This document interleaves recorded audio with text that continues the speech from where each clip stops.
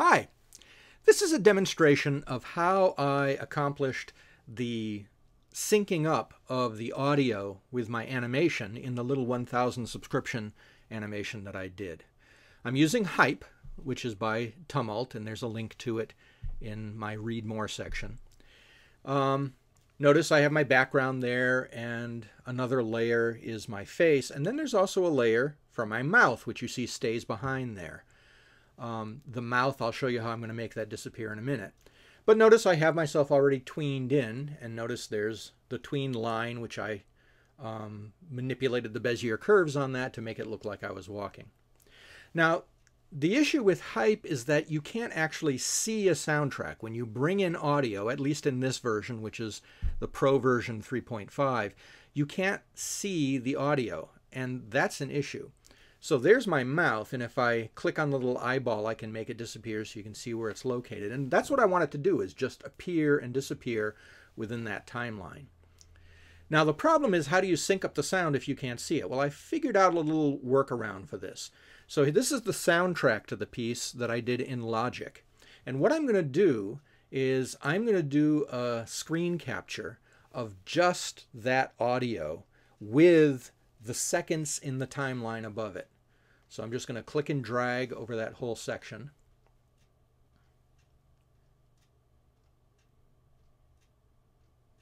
So there it is. I've captured that.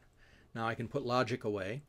And on my desktop, there is the sound. So if I look at it, it's just a capture of what the sound looks like with the seconds, and that's really important.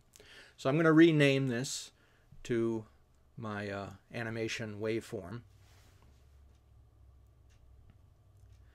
And then I'm simply going to open it in preview by double clicking it.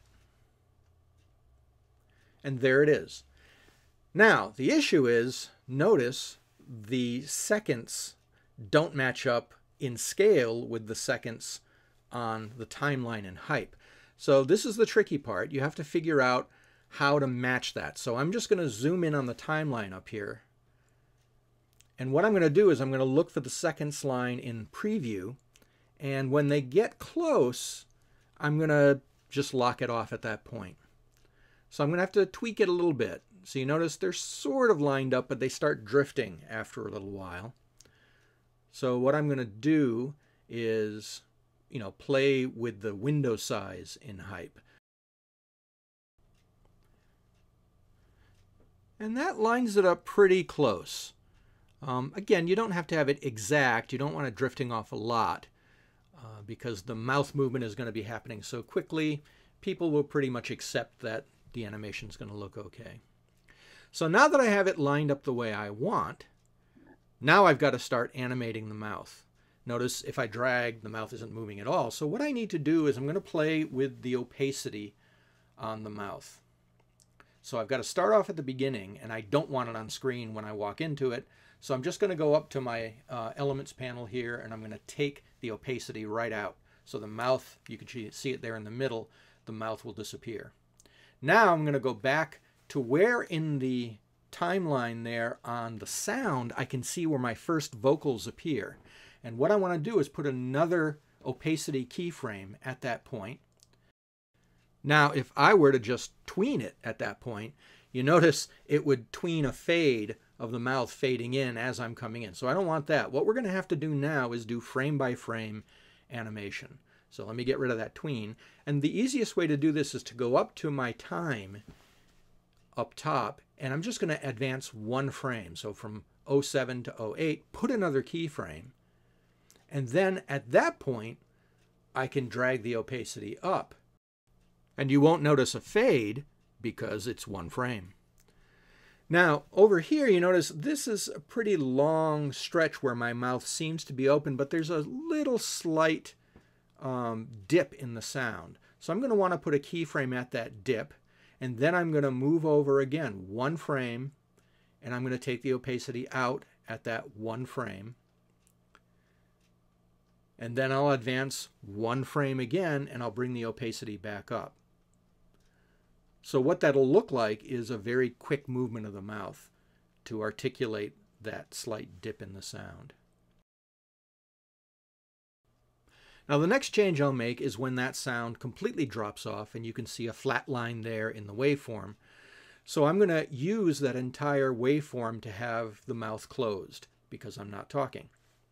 So I'll just again step, put a keyframe, and then I will hold that disappearing mouth all the way till the next time you see that waveform start to come in again. I'll put another keyframe there, and then I'll have to step one frame because remember, if I were to tween it right there, the mouth would fade back in. So I've got to put another keyframe right after that. And notice when you get to 2.9 in there, what happens is it rolls over to zero again because we're doing 30 frames a second. So I had to change it to seven seconds from 629. Then I can put another keyframe and then I can open the mouth. Then I can put another keyframe where I can see the sound drops off. Take the mouth out again. Step over one frame, put another keyframe.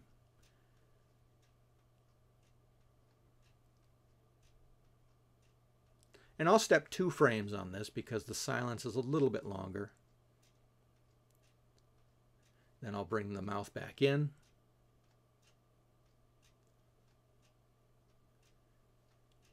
And that's basically the procedure. Everywhere where there's a pulse in the waveform, you open the mouth. When the pulse goes away, you close the mouth.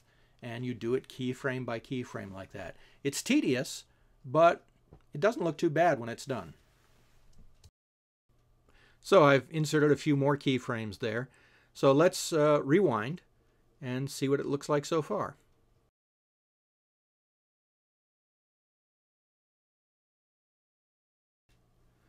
And once you insert the timeline action uh, keyframe at the beginning and insert the audio, then you're pretty much guaranteed if you've done it this way, the audio will line up exactly the way you see it right there. Thanks for watching.